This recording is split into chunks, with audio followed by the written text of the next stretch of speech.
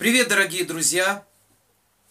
Некоторое время назад э, я выпустил такое видео, оно называлось «Элементалы, стокионы и рудименты». Сейчас вторая часть этого видео,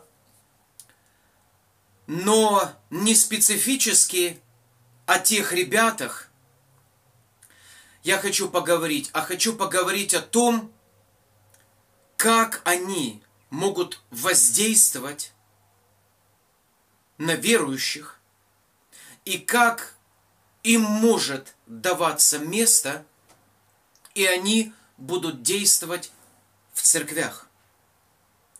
Да, да, в церквях.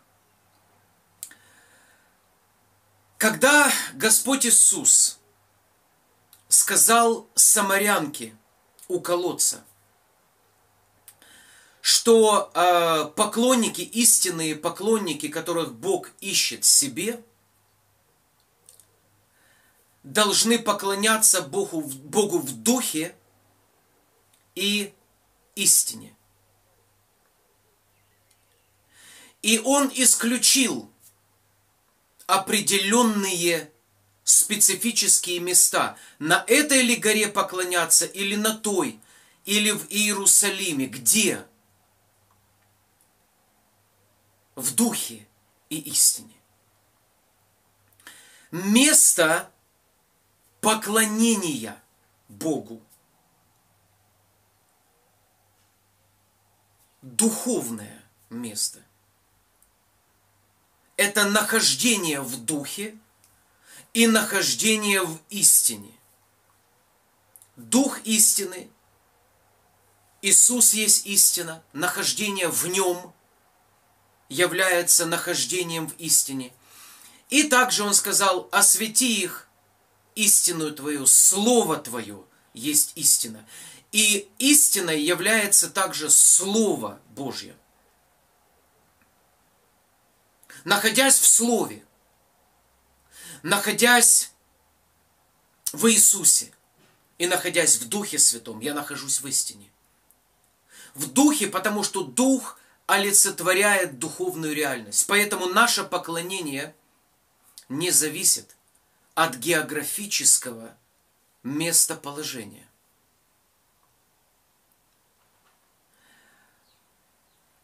Но мы понимаем, что как церковь, поместная церковь, например, в воскресенье мы снимаем залы, мы снимаем помещения, где собираемся. В этом нет ничего неправильного. Абсолютно верно и правильно. Мы не можем там в духе где-то просто собираться, потому что физически мы собираемся в определенное физическое место. И это удобно нам. Или кто-то собирается по домам, или кто-то снимает, или у кого-то свое собственное место, которое они построили, дом молитвы или что-либо другое. Но также поклонники в духе и истине свободны поклоняться в духе и истине и также свободны служить в духе и истине. Без содействия элементов, объектов определенных. Выслушайте внимательно, пожалуйста, то, о чем я хочу поделиться с вами. Потому что я ни в коем случае не атакую никакие элементы или объекты, просто пусть ваше сознание поднимется на тот уровень развлечения, который нам необходим в эти последние дни. Разрешите мне раскрыть эту тему и потом молитесь и подумайте об этом больше. Маги, колдуны, оккультисты, ворожеи, прорицатели, гадатели и прочие другие. либо в оккультных практиках, либо в магических практиках, используют определенные элементы и объекты.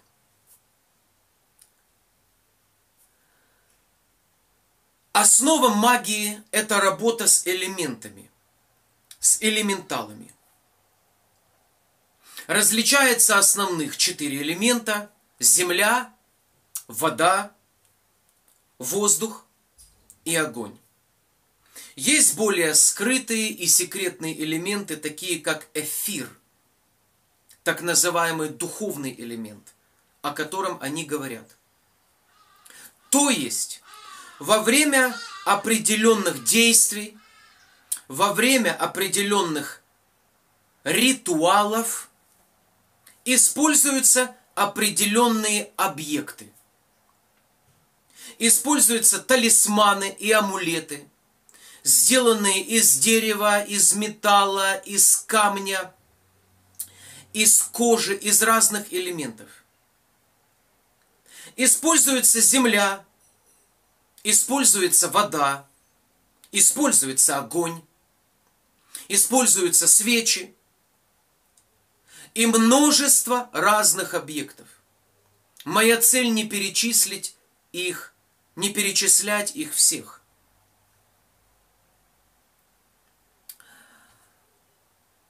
То есть есть элементал магия, магия элементов есть ритуальная магия, где используются объекты, элементы в определенных ритуалах, нашептывается, наговаривается, высвобождается, используется концентрация, воображение, проецирование сознания и т.д. и т.п.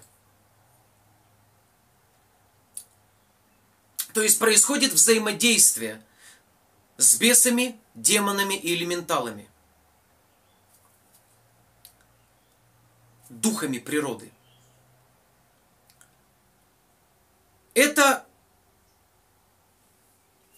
в этом нет ничего сложного, в этом нет ничего мистического и супер такого. У-у-у. Мы как верующие, как служители Божьи,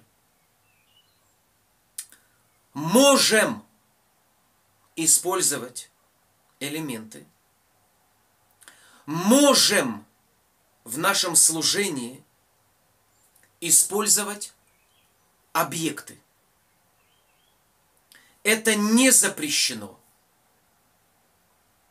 Но как мы их используем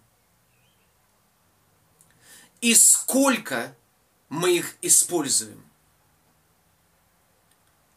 играет очень важную роль церквях есть ритуальная магия. И элементалы вместо Духа Святого иногда якобы осуществляют служение. А люди думают, это Дух Святой, но элементалы служат. И, соответственно, это служение не совсем хорошее служение и не сказывается позитивно. Давайте посмотрим Ветхий Завет. В Ветхом Завете Моисей использует медного змея, потому что Бог дает ему указание это сделать. Некоторое время это пророческое действие, этот пророческий объект, он работает и совершает определенное действие.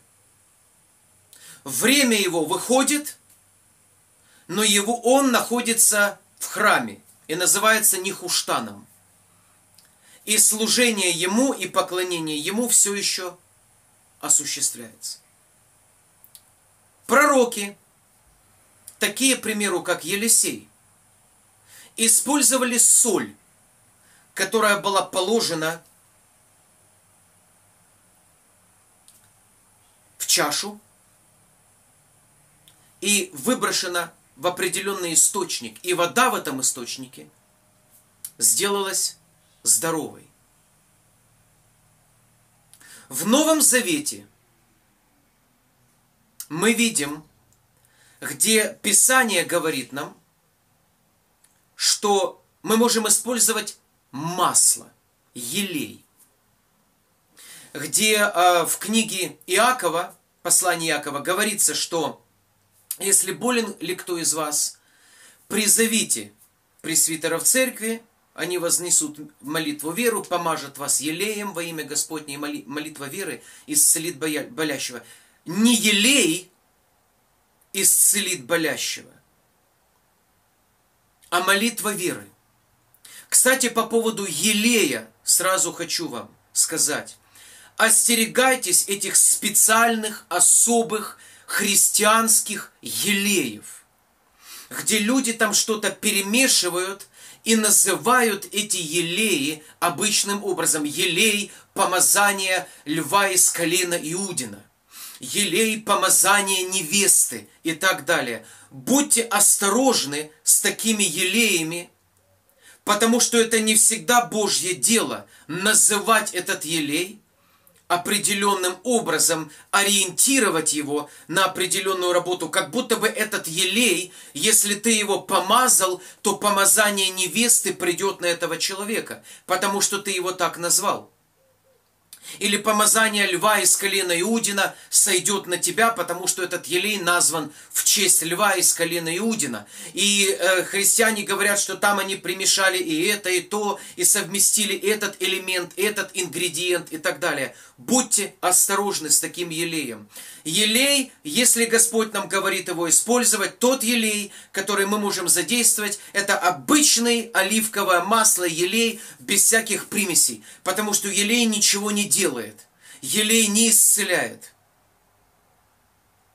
Это всего лишь осуществляется как э, пророческое действие.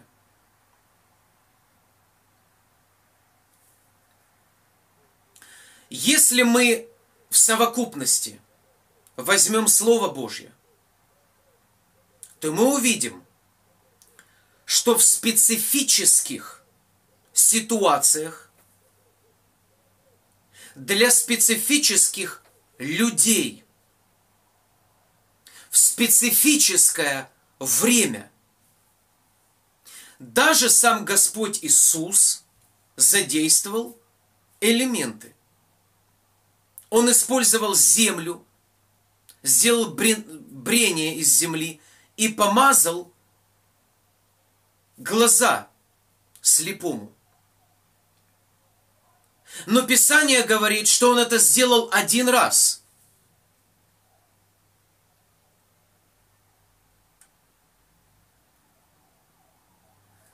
Мы также видим, что платки и опоясания – которые прикасались к апостолу Павлу и к которым он прикасался, несли потом в другие места, и люди получали исцеление, и бесы выходили из людей. Дай аминь. Господь может во время пророческого символизма, как пророческий символизм, как пророческое действие, Господь может задействовать элементы, может задействовать землю, соль, воду. Есть такой завет, завет соли. Воду,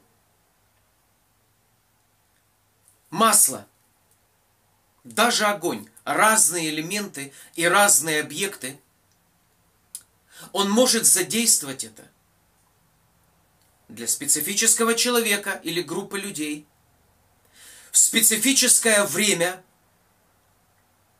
для специфического задания или функции. Но это будет больше выглядеть как исключение, чем повеление. Это будет редко. В основном мы видим в Священном Писании, что Иисус изгонял бесов и исцелял больных словом. Словом, а не постоянно используя какие-то элементы. В некоторых случаях он их задействовал. Но если мы посмотрим, как часто он использовал слово, и как часто по сравнению с этим он использовал какие-то элементы, это даже в сравнение не будет входить. Мы должны быть водимы Духом Святым. Мы должны быть открыты для Духа Святого, чтобы задействовать определенный элемент или объект в определенное время для определенного человека, для определенного действия или ситуации. Но э, посмотрите, если это становится регулярной практикой, и если люди начинают зависеть в этой практике от элементов, от воды, которую они брызгают, чтобы изгнать бесов, от елея, который они мажут, чтобы исцелить больного. Здесь мы видим уже вступающую в силу ритуальную магию и надежду не на Бога, кто есть Дух, и на духовное воздействие Бога, но надежду на элементы и объекты, которые сами по себе уже становятся талисманами и амулетами, на которые люди начинают надеяться. Бог может специфически сказать, чтобы кто-то благословил воду или осветил воду для определенного действия. Но если регулярно это начинает происходить и появляется определенная специфическая святая вода, заряженная определенным человеком для определенных действий, которые постоянно используются во всех ситуациях и сферах будьте осторожны. Это опасная стезя, это опасный фундамент. Это уже магия элементов вступают в силу. И воздействие и действие будет происходить, но я буду сомневаться, что это Божье действие и воздействие. Апостол Павел не занимался постоянно заряжанием опоясаний и платков. В некоторых христианских служениях и христианских магазинах вы можете купить заряженный платок или елей, промоленный тем-то или тем-то. Вы можете потратить деньги и купить то или иное опоясание или ту или иную воду. Будьте осторожны вы на очень опасной стезе. Иногда люди берут что-то специфическое, которое в какой-то момент времени открывал им Бог, и делают его основным элементом в своем служении. И отвергают основной элемент служения, что есть служение Слова и Святого Духа – и фокусируются на чем-то специфическом. С кольями, которые забивают люди. Если это происходит по откровению, слава Богу, Господь через это проявляется или работает. Если вы это делаете потому, что кто-то научил вам, вас или сказал вам просто, и вы не проконсультировались с Богом, и вы начинаете регулярно этим заниматься, будьте осторожны, вы на опасной стезе.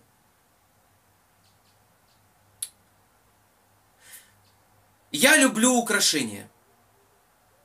У меня есть разные виды украшений, разные кольца, разные вещи, которые я вешаю.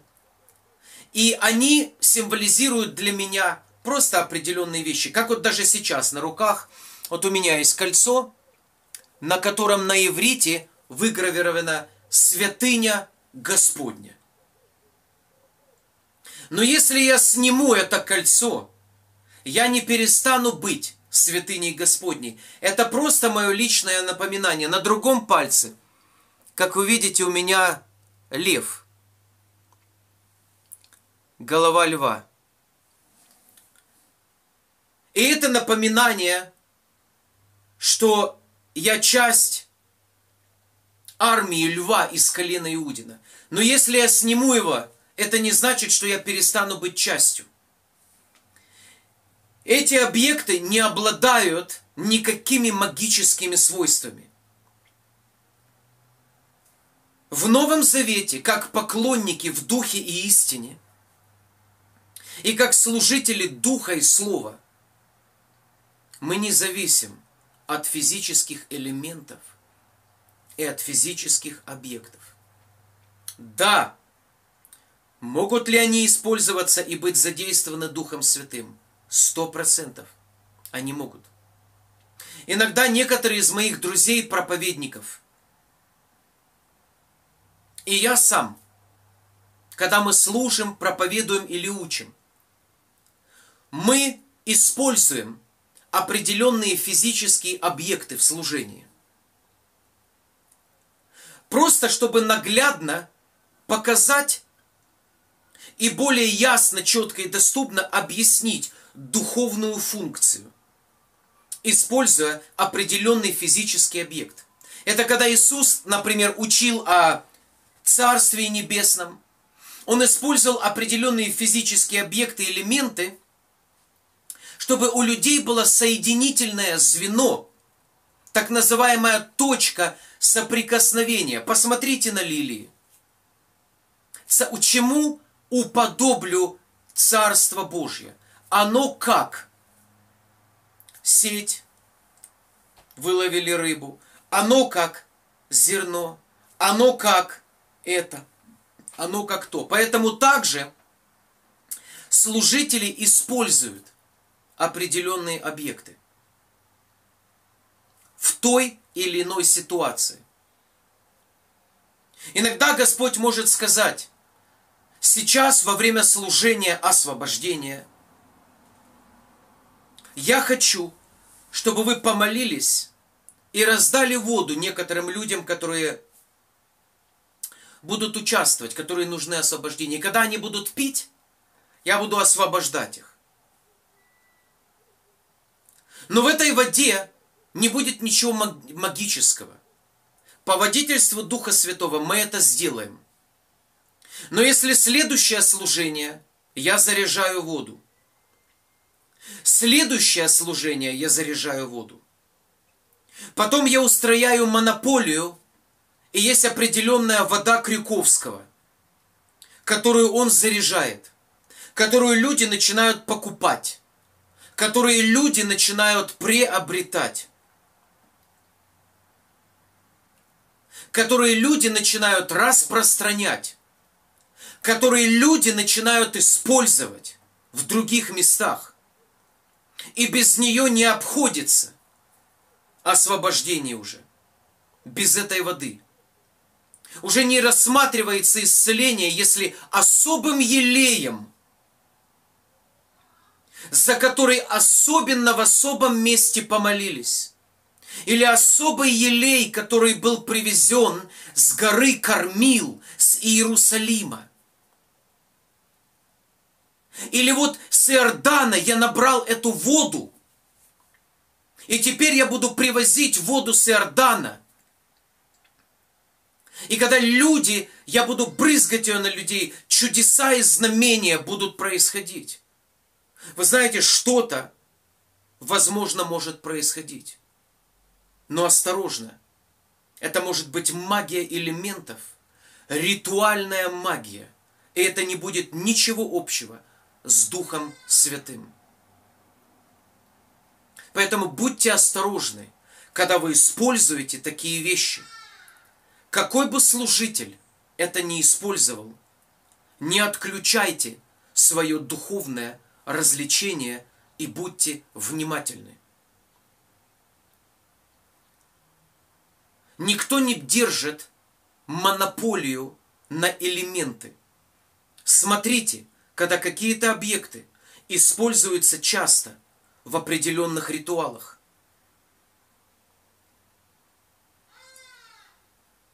Я посещал одного служителя освобождения. И я не хочу сказать, что он не служитель освобождения. Но каждый раз, когда нужно было молиться о чем-то, нужно было снимать обувь и босы ногами становиться на Библию. И таким образом было сказано, что им было это открыто. Может ли так быть открыто? Да. Но если это становится регулярным ритуалом, если это становится неотъемлемой частью этого служения, и уже без определенного физического объекта или элемента не совершается служение и не совершается работа Христа, будьте внимательны и будьте осторожны. Пип! Ритуальная магия, магия элементов. Бесы могут начать действовать через эту работу. И через это действие. Наш Бог не Бог ритуалов. Наш Бог есть Дух. И Ему нужно поклоняться не через ритуал, а в Духе и истине. И таких поклонников Он ищет себе –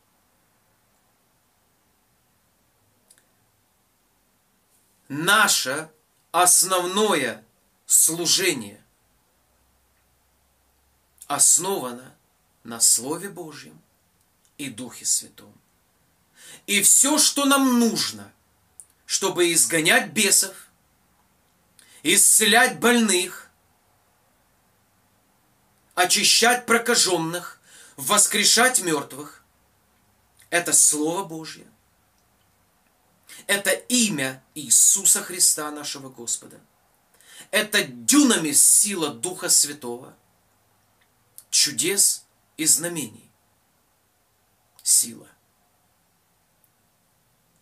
Это кровь Иисуса. И мы открыты для того, чтобы время от времени, может быть, в каких-то особых ситуациях и случаях, в особое время для особых людей Бог может решить задействовать тот или иной объект или тот или иной, или иной элемент, как в пророческом символизме, так и в исцелении и освобождении, тогда мы это сделаем. Но мы не будем уповать и полагаться на это. Потому что мы знаем, что Бог может благословить и действовать через определенный метод, определенное время. И потом Он перестанет действовать через это, чтобы мы не уповали и мы не надеялись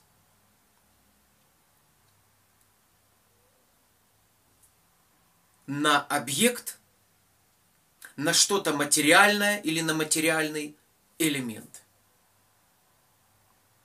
И перестали надеяться на него. Ни воинством, ни силою, ни элементами и ни объектами, я добавил, добавил а духом моим.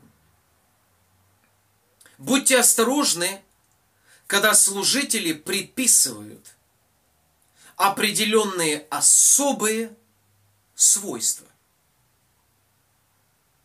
Воде, елею, огню, тряпочке какой-то, определенной книге,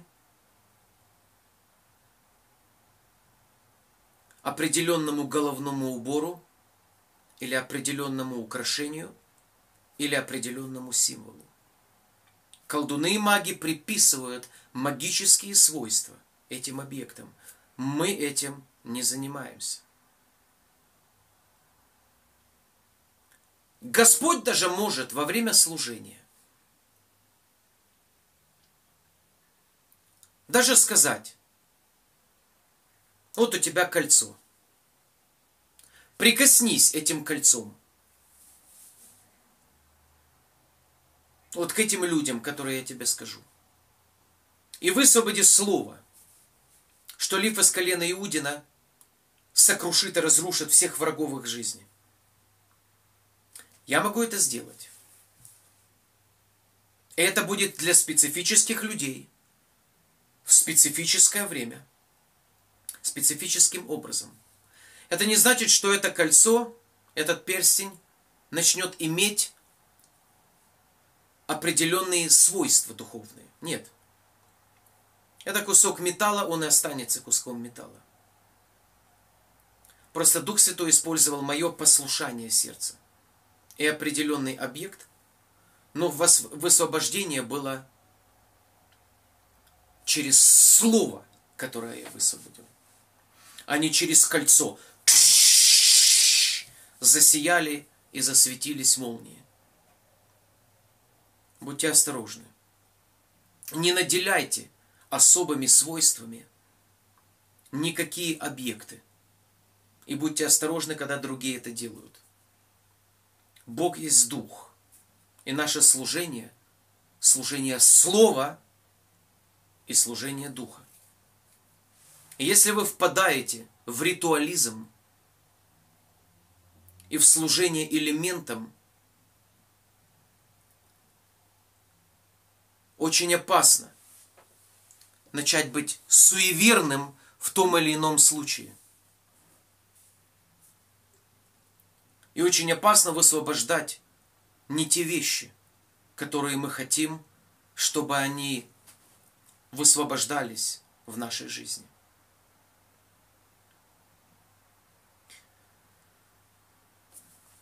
Даже на нашей одежде может быть помазание. Но это не значит, что вся одежда, которую я ношу, она помазанная. Помазанник, который высвобождает свое помазание, он живет внутри нас. Иешуа Хамашиях.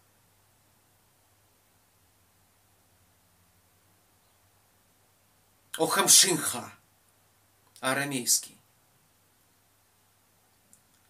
И от него исходит помазание посредством слова и духа.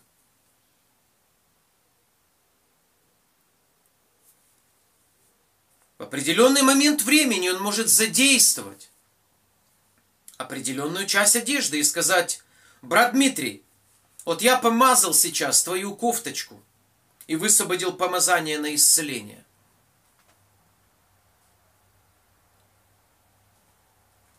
Пусть те, кому нужно исцеление, выходят и касаются этой кофточки. Или ты возьми и касайся других. И если это Господь, люди будут исцеляться. Но это не значит, что теперь начинается служение исцеления кофточки Крюковского. Что особым образом одевается какая-то кофточка, пропитанная помазанием – Что это? Это уже ритуальная магия.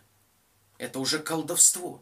Это уже упование не на Господа, а на объект, который Бог когда-то и задействовал. И мы думаем, что Он постоянно будет задействовать. Нет. Бог не будет постоянно задействовать. Неоднократно в моей жизни Господь задействовал мечи. Физические мечи. Когда я танцевал с ними. И происходили определенные вещи в зале, о которых люди потом свидетельствовали, что они получали исцеление, освобождение и наделение от Господа. Но я не махаю мечами постоянно, чтобы что-то высвобождалось. Мне не нужно постоянно махать мечами, чтобы что-то высвобождалось. Мне нужно говорить Слово и высвобождать Божий Дух. Это основное служение. Но если специфически Господь хочет, чтобы я махнул мечом там или сям, или тем или иным образом в том или ином месте, я это сделаю. Либо для определенного пророческого действия, или для наделения. Это не значит, что меч получает магические свойства, и через меч начинает высвобождаться сила Божья. Нет. Сила Божья будет высвобождаться через слово веры, которое будет высвобождаться через уста и через Дух Святой. Меч – это просто показатель. Это просто физическое отображение духовной реальности, которую Господь будет высвобождать. И вы знаете, были ситуации, и одна из таких ситуаций была в Казани, на школе в Казани, у благословенного служителя Божьего, Сына Божьего, который э, пригласил меня, Раушана. Я там одел милоть православную, белую. И было служение, связанное с э, апостольским и связанное с молитвой Патрика и так далее и т.п. Время от времени Господь поручал мне молиться молитвой Патрика и высвобождать ее в том или ином месте. Это было три или четыре раза за, все, за годы. И каждый раз, когда я это делал, происходило сверхъестественное наделение и действие. Первый раз, когда я это сделал, это было в Дурбане. Люди впадали в транс и попадали на небеса. И их уносили домой, молодежь. И я брал милость, потому что чувствовал, что что-то есть на этом. И мы били людей этой милостью.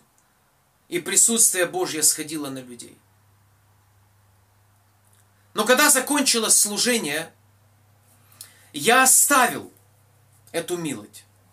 Я положил ее где-то на стул и пошел пить чай. Но некоторые люди начали самостоятельно подходить, брать эту милость, одевать ее на себя. И якобы получать определенное помазание.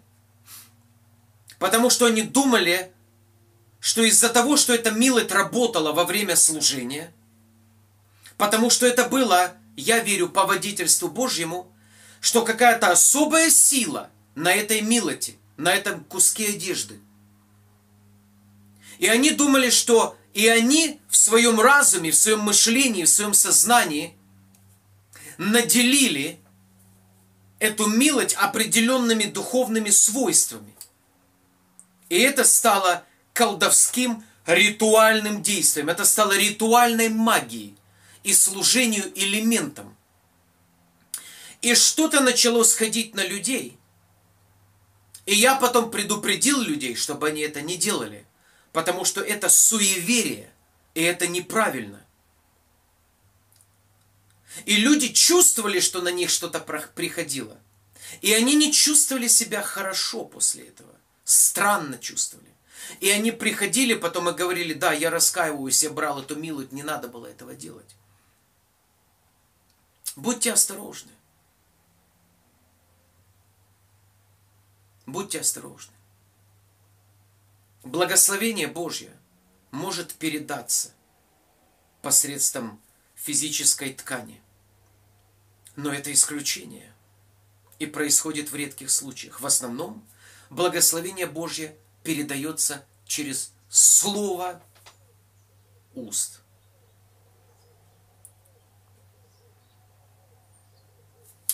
Я хочу помолиться. И если вы чувствуете, присоединяйтесь к этой молитве. Отец, я раскаиваюсь за всякий раз в своей жизни и служении, когда я служил кому-то лично или когда я присутствовал тогда, когда другие служили мне – и я отключил развлечения, понадеясь на этого человека, на помазание, на харизму, через который он известен.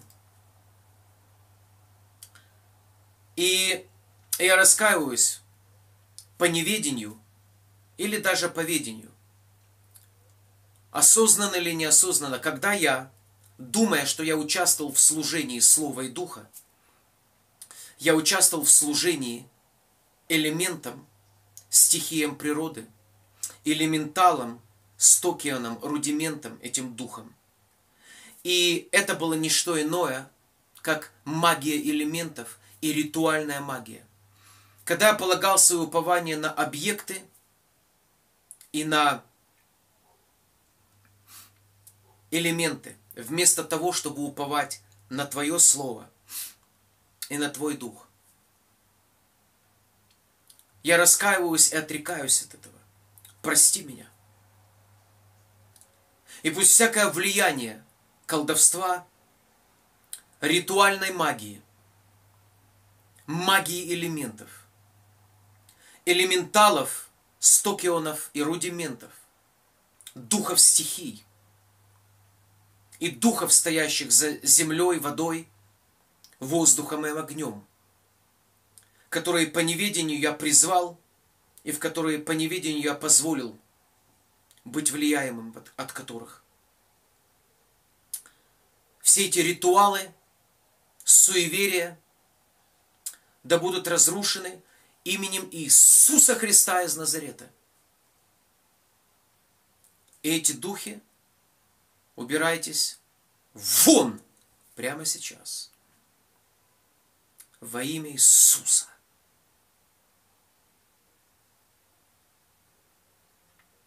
Господь, учи нас быть мудрыми с развлечением и с пониманием, как работают духовные вещи в Твоем Царстве. Чтобы мы были открыты для водительства Духа Твоего Святого, когда Ты посылаешь нас и говоришь нам совершить то или иное пророческое действие или то или иное служение Тебе, задействуя определенные элементы или объекты, чтобы это было по водительству, а не исходило из нашего разума и сознания. Или из привычки, или какого-то ритуала, к которому мы бездумно привязались. Но чтобы это исходило из водительства, понимая, что это не основной способ, который ты задействуешь в служении. Чтобы мы уповали на Твой Дух и на Твое Слово во имя Иисуса Христа. Аминь. Благословений всем вам с Господом, дорогие.